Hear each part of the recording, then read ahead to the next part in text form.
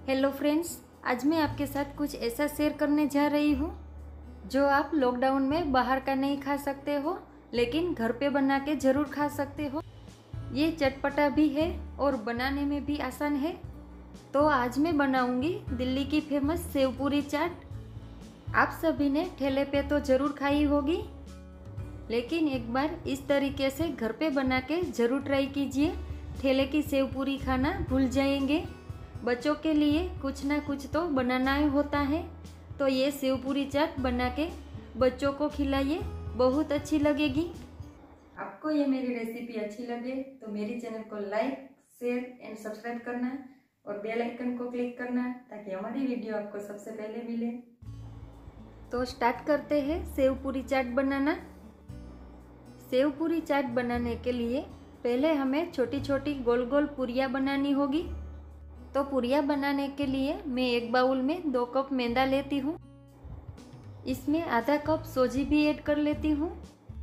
सोजी डालने से पुरिया बहुत ही क्रिस्पी बनती है। यहाँ पर मैंने दो कप मैदे के सामने आधा कप सूजी ली है। इसी मेज़रमेंट के साथ बनाइए। पुरिया बहुत ही क्रिस्पी बनेगी। उसके बाद मैं इसमें डालूँगी मोन, जो मैंने मोन के लिए दो से तीन चम्मच तेल लिया है। और साथ में ही मैं इसमें डालूँगी थोड़ा सा नमक, यानी कि एक चम्मच नमक मैंने डाला है। आप अपने टेस्ट के अकॉर्डिंग नमक डाल सकते हो। अब मैं इन सारी चीज़ों को अच्छे से मिक्स कर लेती हूँ। अगर आप मैदे से पूरी नहीं बनाना चाहते तो आप गेहूँ के आटे से भी ऐसी छोटी छोटी पूरियाँ बना सकते हो। अब हम यहाँ पर थोड़ा थोड़ा पानी ऐड करके अच्छे से डो बना लेंगे। डो हमें टाइट बनाना है। डो जितना टाइट होगा, उतनी ही पूरिया क्रिस्पी बनेगी।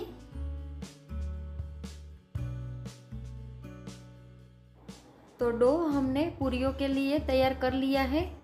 ऊपर से एक चम्मच तेल डाल के डो को मैं अच्छी तरह से मैश कर लूँगी। डो बनकर तैयार है तो इसको मैं 10 से 12 मिनट के लिए रेस्ट करने के लिए रख दूँगी। 10 से 12 मिनट के बाद हम इसमें से छोटी छोटी पूरियाँ बनाएँगे। जो डो को हमने 10 मिनट के लिए रेस्ट करने के लिए रखा था, वो अच्छे से सॉफ्ट हो गया है। इसमें से मैं बड़ा बड़ा पार्ट लेके बड़े बड़े लुइये बना लूँगी, क्योंकि पहले हमें बड़ी बड़ी ही पूरियाँ बनानी है। तो इस तरह से मैं सारे डो के बड़े बड़े लुइये बना लेती हूँ। सारे डो के लुइये बन गए हैं। तो इसमें से मैं अब बड़ी बड़ी पूरी बनाऊँगी। मैंने यहाँ पर पतली सी, बढ़िया सी पूरी बेल ली है। अब मैं यहाँ पर इस तरह के कटर की हेल्प से छोटी छोटी पूरियाँ बना लूँगी। और जो ये साइड वाला पार्ट है, उससे मैं दूसरी पूरियाँ बना लूँगी। इसी तरह से मैं सारी पूरियाँ बना के रख लूँगी। सेव पूरी चाट बनाने के लिए हमें फुली हुई पूरियाँ नहीं चाहिए। इसलिए मैं पूरी पे फोर्क की मदद से इस तरह से डॉट बना लेती हूँ। तलने के लिए छोटी छोटी पूरियाँ बनकर तैयार है तो मैं अब इसको एक प्लेट में निकाल लेती हूँ। गैस पे मैंने पहले ही तेल को गर्म करने के लिए रख दिया था तो मैं यहाँ पे गैस की फ्लेम को लो रख के सारी पूरियाँ तलने वाली हूँ।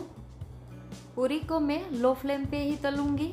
जब तक ये गोल्डन ब्राउन होती है, तब तक गैस को मैंने बंद कर दिया है, क्योंकि ये हमारी अच्छी तरह से गोल्डन ब्राउन पूरिया हो गई है। पूरी को मैं टिश्यू पेपर में निकाल कर इसे एक घंटे के लिए ठंडा होने के लिए रख दूँगी। जब पूरिया एक घंटे के बाद ठंडी हो जाएगी, तब हम सर्व करेंगे। एक घंटा हो चुका है और पूरिया भी हमारी ठंडी हो गई है।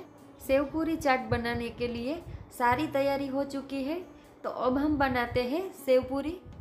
यहाँ पर मैंने उबले हुए आलू को मैश करके लिया है और साथ में तीन तरह की चटनी ली है। इसके साथ साथ बारीक कटी हुई प्याज, चाट मसाला और लच्छा सेव ली है। इन सारी चीज़ों से बनाएँगे सेव पूरी चाट। ये तीनों चटनी भी मैंने घर पे ही बनाई है। इसकी रेसिपी मैं आपको अगले वीडियो में दिखाऊँगी। पूरी को मैंने डिश में रख दिया है। जो हमने उबले हुए आलू को लिया था, उसको मैं पूरी के ऊपर रख रही हूँ। तकरीबन ये एक चम्मच जितना होगा। उसके ऊपर एक चुटकी चाट मसाला छिड़केंगे। आलू के ऊपर चाट मसाला छिड़कने से आलू का फीकापन चला जाएगा। पहले मैं डालूँगी तीखी वाली चटनी। तीखी वाली चटनी आप अपने टेस्ट के अकॉर्डिंग डाल सकते हो। और आप लहसुन खाना पसंद नहीं करते हो तो ये चटनी आप स्किप कर देना। अब मैं डाल रही हूँ हरी चटनी। हरी चटनी टेस्ट में बहुत ही अच्छी होती है और ये सेव पूरी का टेस्ट ही बदल देगी। ये हरी चटनी के बिना सेव पूरी फीकी फीकी लगती है। अब बारी है मीठी चटनी की। ये मीठी चटनी बच्चों को बहुत ही पसंद होती है।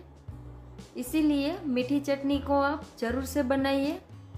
इससे बच्चे बहुत पसंद करते हैं। अब इसके ऊपर बारीक कटी हुई प्याज को मैं डालूँगी। प्याज के बिना चाट अधूरी अधूरी लगती है।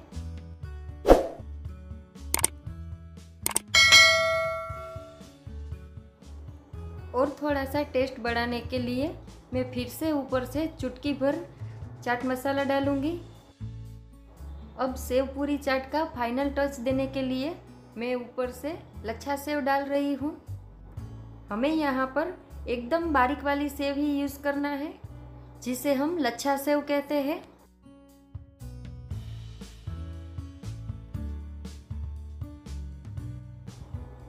यहाँ पर मैं ऊपर से हरी चटनी डाल रही हूँ, क्योंकि थोड़ा सा ये कलरफुल दिखे। साथ में थोड़ी सी मीठी चटनी भी डाल दूँगी, क्योंकि इसका कॉम्बिनेशन सही रहे। तो ये हमारी चटपटी सेव पूरी चाट बनकर तैयार है। तो फ्रेंड्स आपको ये रेसिपी कैसी लगी? मुझे कमेंट करके ज़रूर बताना। अच्छी लगे तो मेरी चैनल को लाइक करना, दोस्तों के साथ शेयर करना और मेरी चैनल को सब्सक्राइब करना मत भूलना। Thanks for watching